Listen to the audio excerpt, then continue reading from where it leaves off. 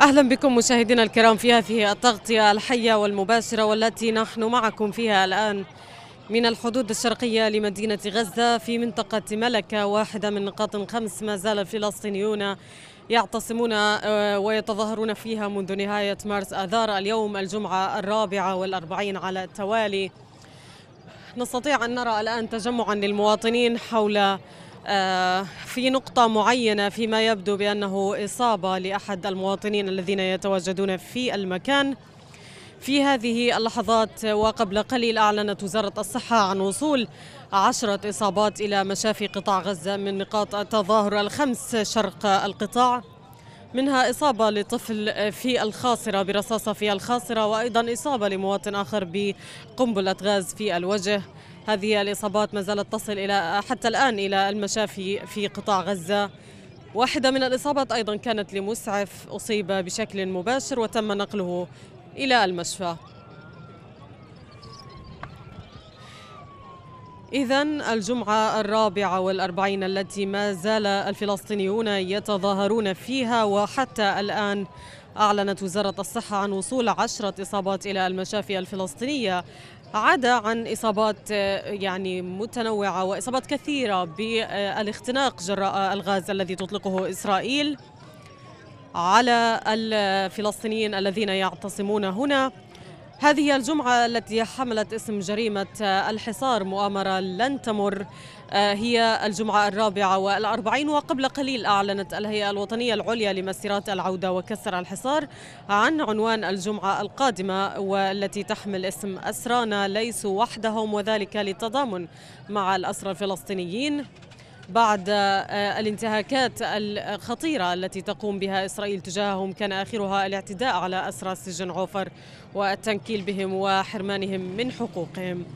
إذا مشاهدينا ما زالت هذه الجمعة مستمرة. إسرائيل ككل الأيام السابقة تفرط في آه، إطلاق قنابل الغاز المسيلة للدموع تجاه المواطنين ما أدى لإصابة عدد منهم بالاختناق. نستطيع أن نرى تجمعا كبيرا من المواطنين في المكان ووجود عدد أيضا من النساء والأطفال وكبار السن الذين جاءوا جميعا ضمن هذه المطالب.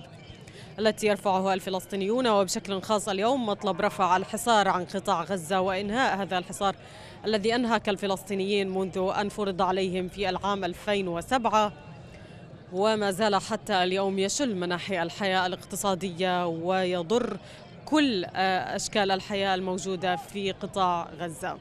إذا نشاهد وإياكم الآن هذه آه، اللحظات من مسيرة العودة والجمعة الرابعة والأربعين فيها جمعة آه، جريمة الحصار مؤامرة لن تمر كما سمتها الهيئة الوطنية العليا لمسيرات العودة سنتحدث الآن مع أحد المواطنين الذين يتواجدون في المكان يعطيك العافية آه، اليوم أنت أول مرة ولا أي مرة بتشارك فيها في المسيرة؟ الحمد لله كل أسبوع بنشارك إلا ما ندر يعني إذا كان واحد شو الفكرة أو الرسالة اللي أنت بتحملها بمشاركتك؟ أنا أنا في الجمعة الرابعة والأربعين بنوجه رسالة نحن متمسكين بحقنا في العودة متجذرون بهذه الأرض حتى نعود إن شاء الله ونكسر هذا الحصار الظالم بحق أهلنا في قطاع غزة. اليوم العنوان كان للمسيرة عن الحصار بشكل خاص. باعتقادك هذا الحصار لمتى مستمر؟ وشو ممكن يكون طريقة لحل لرفعه؟ الطريقة هو ثبات الشعب حول هذا يعني المفهوم مفهوم كسر الحصار والوحدة الوطنية طبعا هي أهم وسيلة لكسر هذا الحصار. يعني أنه تتجمع الناس مع بعضها والفصائل مع بعضها في سبيل كسر الحصار ونيل الحقوق. يعني لا يمكن يصير نكسر الحصار وإحنا بنحاصر بعضنا في بعض. إنه في ناس بتحصرنا قاعدة يعني رام الله والسلطة تحاصر في أهلنا في غزة. ومناكفات هنا وهناك وبدنا نكسر حصار هذا طبعا لا يمكن إنه يصير. لابد إنه يعني يصير وحدة وطنية ويصير كذا. حتى إنه نستطيع نكسر الحصار بقوة وبعزيمة إن شاء الله. كل جمعة بتقول إنه أنت بتيجي وبتشارك. إلى متى آه، رح تضلك تيجي؟ حتى يأذن الله لنا ويقضي بيننا امره يعني. طالما طالما إنه في احتلال طالما في احتلال وفي حصار فإن مسيرتنا مستمرة بإذن الله عز وجل. لن كلنا نمل بإذن الله عز وجل. أشكرك جزيلا. شكرا لك على مشاركتك معنا. إذا آه، مطلب رفع الحصار يبدو مطلبا ملحا. الآن بالنسبة إلى الحياة اليومية لأهالي قطاع غزة الذين يعانون من شلل حقيقي في هذه الحياة وفي الوضع الاقتصادي. جراء استمرار الحصار المفروض على القطاع. رجل يتواجد هنا في المسيرة برفقة أطفاله. سنتحدث معه الآن. يعطيك العافية. عرفنا عليك. الله يعافيك. أبو أنس السويركي. أبو أنس مع أطفالك موجود في المكان مش قلقان عليهم؟ لا لا لا مش قلقان لا شك انه الوضع شوية مخيف لكن آه، إحنا إن شاء الله العالمين هنا جايين في رسالة وحتى نوصلها لأبنائنا كمان. هي شو الرسالة؟ اللي بدك توصلها للناس بمشاركتك ولأبنائك كمان. بالضبط. إحنا نحمل الرسالة هذه لأبنائنا إنه إحنا هذه بلادنا اللي هي على بعد أمتار منا يفصلها يفصلنا ما بيننا وبينها سلك شائك. وهذا زائل سيزول بإذن الله رب العالمين. يقول لهم هذيك هي بلادنا. هناك بلادنا بلاد السبع وبلاد آه، 48 وال 67 هي بلدنا ولازم نرجع لها إن شاء الله رب العالمين. عشان هيك أنا بجيب الأولاد بقول لهم هديك بلدنا لازم إحنا في يوم من الأيام إن شاء الله رب العالمين نرجع فيها نرجع لها إن شاء الله رب العالمين. طال الزمان أم قصر وإحنا فعلا سكان السبع خرجنا أه- أهلي في ال- يعني قبل ال 48 نعم ولكن إن شاء الله رب العالمين سوف نعود إليها بإذن الله عز وجل. فلذلك أنا بقول لأولادي هيهم بقول لأبنائي إنه هذه هي بلدنا وإحنا إن شاء الله رب خلينا العالمين نسمع من بنتك شو بتكون بتقول لهم كل جمعة. كيف حالك حبيبتي؟ شو اسمك؟ الحمد لله آية سويركة آية. شو اللي, اللي بت... انت أول حاجة من وين؟ من أي منطقة في فلسطين؟ بئر السبع. آية بتت... انت عمرك ما شفتيها طبعا ولا يمكن والدك لكن بتتوقعي ممكن ترجعوا لها؟ إن شاء الله بنرجع لها. نفسك ترجعي؟ آه كتير. تعرفي عن بير السبع؟ شي يضرينا بتعرفيش عنها كثير لا. ما بتعرفي عنها. لا أنا بعرف إنه هم احتلوها اليهود وأخذوها من أجدادنا وأجداد أجدادنا واحتلوها. وإن شاء الله بترجع. توقع ترجع؟ إن شاء الله بإذن الله. آية ما بتخافي بس تيجي هنا؟ لا بالعكس بتحمس وبزداد حماس إني بشوف الناس قاعدين بيقدموا وبتشجع إني أقدم آه، ابو انس اسمح لي أخيرا آه، أختم معك بسؤال. اليوم آه، كان بيحمل اسم الحصار جريمة الحصار مؤامرة لن تمر. باعتقادك هذا الحصار ممكن يرفع قريبا عن الشعب الفلسطيني في قطاع غزة؟ والله إحنا املنا في الله سبحانه وتعالى كبير واملنا بالمقاومة وبالشعوب العربية التي تقف معنا وتساندنا. إنه في يوم من الأيام إن شاء الله رب العالمين سوف يكسر هذا الحصار. بإذن الله عز وجل بقوة الله عز وجل وبقوة هذا الشعب وارادته بالمقاومة وبفصائله وبالشعوب المساندة لنا الشعوب العربية والشعوب العالمية التي نتطلع أنها تقف معنا وقفة آه، يعني صمود ووقفه تأييد لكي ننتزع حقنا ويكسر هذا الحصار مرة واحدة وإلى الأبد إن شاء الله رب العالمين. نحن متفائلين أنه هذا سيتم إن شاء الله رب العالمين قريبا أم بعيدا إن شاء الله. جزيلا وأسأل الله أن يحفظ لك أولادك فلا يصيبهم ضرر آه، العدو أو الاحتلال الإسرائيلي. شكرا جزيلا لك على مشاركتك معنا. اذا مشاهدينا الكرام أيضا سنتحدث الآن مع مجموعة أخرى من السيدات تتواجد في المكان. آه، نلاحظ أن حضور السيدات في المكان. حضور قوي. آه، دعونا بداية. نأمل أن لا تكون هذه الرصاصات قريبة من أي أحد أن لا تصيب أحد. يعطيك العافية عارفين عليكي؟ الله يعافيك محمد الصليبي محمد بتيجي بالعادة كل جمعة؟ كل جمعة طبعا وبعدين؟ احكي لنا ليه بتيجي؟ تيجي عشان هذا أرض أرض فلسطين. يعني القدس عاصمة فلسطين. هذا أراضينا من يعني عشان يتأكدوا إنه إحنا رافضين أفعالهم هذا رافضين احتلالهم لأراضينا وأراضي أجدادنا وآبائنا. فهذا اليوم بنأكد لهم إن إحنا بننساهاش الأراضي. جايين مجموعة وشايفة معاكم أطفال. مين هدول؟ هذول من قرايبنا وفي من الشعب هنا كمان أطفال وكبار وصغار. بس يعني حتى الحضور لكم وللأطفال للجميع هو خطير. إسرائيل زي ما أنت شايفة. بدهم كمان بدهم كمان يشاركوا. ما نقدرش نمنعهم. كل واحد من نفسه بيجي مش مفيش حدا بيجبر الثاني إنه يجي ويشارك في المسيرة هذا. طيب لإمتى راح تضلكم تيجوا وتشاركوا في المسيرة؟ نضلنا لحديت ما يفتح المعابر ويلبط كل طلباتنا فتح المعابر.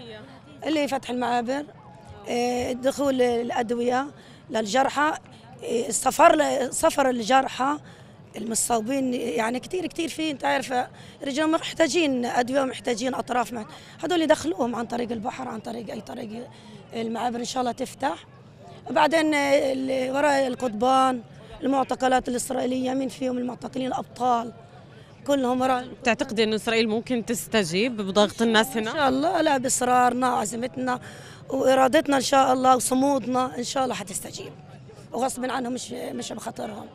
لما لقينا إحنا مصممين على على حقنا على حقنا الشرعي هذا إن شاء الله حيستسلموا هم مش إحنا ما بنستسلمش. حتستمر مسيرة العودة حتى النصر. حتى النور كل حقوقنا المسلوبة. شكرا جزيلا لك وأتمنى لكم السلامة. أحكي لك صار موقف صار حدث توه يعني شباب واقفين سلميين. آه طخ على واحد يعني على شاب مواطن ما سلمي واقف طخ على رجله فجروها. قدامك. أتو لسه أتو الكلام هذا ملوش دقيقة. منظر بشع منظر يعني خلاص مش مش عارفه إيش أتكلم. بقول بس حسبنا الله ونعم الوكيل فيهم اليوم. يعني دم من عند السلك اللي جاي كان سلمي وماشي. الدم من على الإسعاف محملينه بخرخار آه قديش عمره؟ مش عارف والله ما عارف بعرفش قديش عمره. لما كان واقف لا جاي. كنا سلميين ماشيين واقف عادي يعني ما كان بشكل خطر عليهم؟ لا بشكل شيء خطر. هم هم ضد. شوف اللي بيطبش كانوا يضربوا عليه رصاص حي متفجر كمان. واللي بيسقف كانوا يفتحوا الأناشيد كمان. الوطنية برضه كانوا يطلق عليهم النار. انفجار تو. كان حتى على الكلام التنتين. لما حملوه المسعفين كل بركة دم وكمان هاي الأرض بتشهد الدم روح شوفي بتفرج عليها.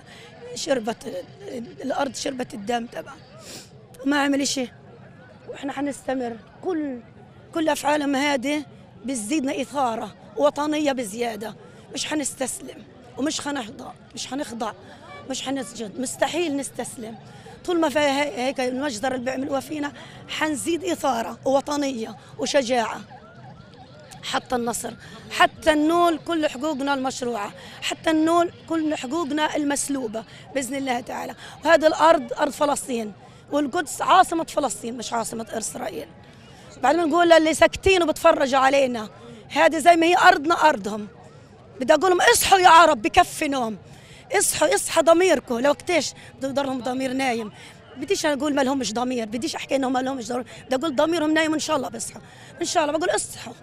اصحوا يا عرب اصحوا يا عرب إن شاء الله يصحى ضميرهم. شكرا لك والحمد لله على سلامتكم وإن شاء الله ربنا يحمي الجميع. شكرا جزيلا لك. اذا آه، منظر آه، وصفته لنا السيدة. على مبشر هيك ناحيه اليوم. تفضلي ما في مشكلة. إذا السيدة الآن وصفت لنا آه، مشهدا رأته أمام أعينها فأثار مدامعها. شاب كان يقف بشكل سلمي تماما في المكان وأطلقت عليه إسرائيل آه، واحدة من الرصاصات المتفجرة آه، ف يعني تحولت ساقه إلى ما يشبه الأشلاء. قد تبتر وهذا ما تعرض عرض له عدد كبير من الشبان. جراء هذا الرصاص الذي تطلقه إسرائيل عليهم. الرصاص المتفجر الذي يعني يأخذ حيزا ما يقارب من 20 سنتيمتر. كما تحدث لنا أحد الأطباء في واحدة من التغطيات سابقا ما يؤدي في الغالب إلى إلحاق أضرار دائمة بالجزء المصاب في المصاب الذي يعني تصيبه هذه الرصاصة. إذا مشاهدينا الكرام آه، على الحدود الشرقية لمدينة غزة نستطيع أن نرى الآن استمرار تواجد المواطنين واحتجاجهم السلمي. وإيصال هذه الرسالة التي يقولون أنها رسالة إنسانية يطالبون فيها برفع الحصار عنهم ورفع يد إسرائيل عن حياتهم التي استحالت إلى حياة غير ممكنة منذ عام 2007 عام فرض الحصار عليهم. وإغلاق المعابر والمنافذ والحصار البحري الذي تفرضه إسرائيل حتى اليوم على القطاع.